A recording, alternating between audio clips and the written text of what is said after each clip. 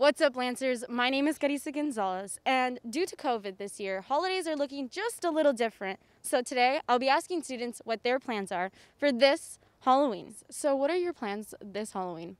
Uh, nothing too big, you know, just watch some spooky movies with the boys. So, what movies will you guys be watching? Uh, the classics like Halloween with Michael Myers and, you know, might throw in the Goonies just for, just for fun. Pat, what are your plans for this Halloween season? Well, I plan on having my grandchildren um, via Zoom because we can't get together. So, Grandma just wants to be able to see everybody in their costumes. And that's pretty much what we're going to do. We're going to have uh, their parents are going to give them their treats at home and then they're going to share that with me and then i'm going to show them what i made for them um, so that they can come pick up later So, what are your plans this Halloween?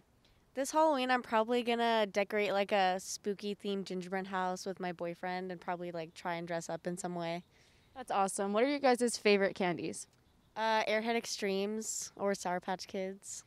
Well, that's it for today, Lancers. Please do not forget to stay six feet apart, wear your mask, and please be safe this holiday season.